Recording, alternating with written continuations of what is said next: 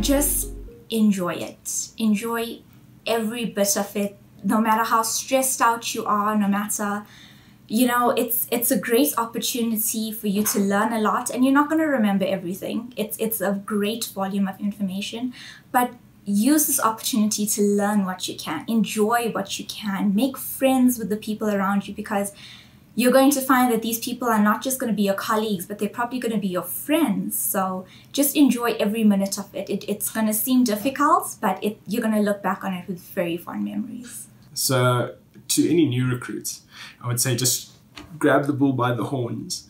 Uh, boot camp can be quite intense. It can be very long. You get very stressed.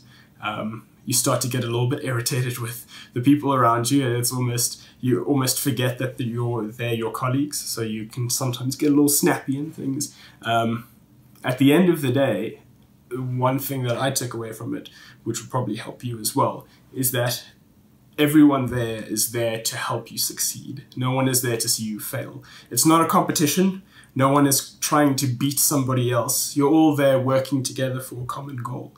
Um, and as soon as you realize that, it suddenly makes everything so much easier. It suddenly, you start to realize that sharing knowledge is much better than sort of like hoarding it and keeping it to yourself. And um, at the end of the day, when you come out of this experience, you'll be a bigger and better person for it. I think you're gonna work very hard, very, very, very hard. So prepare yourself for that. Um, people are also giving up a lot of their time to help you and teach you, and you're getting paid to learn. So make the most of that opportunity. And don't ever get too comfortable because the second you get comfortable, something's gonna rock your boat and surprise you. So be prepared for it. I would say be open to learning. Don't be afraid to ask questions. There's no stupid question. The only way to grow and learn is to ask those questions. So don't be afraid to do that.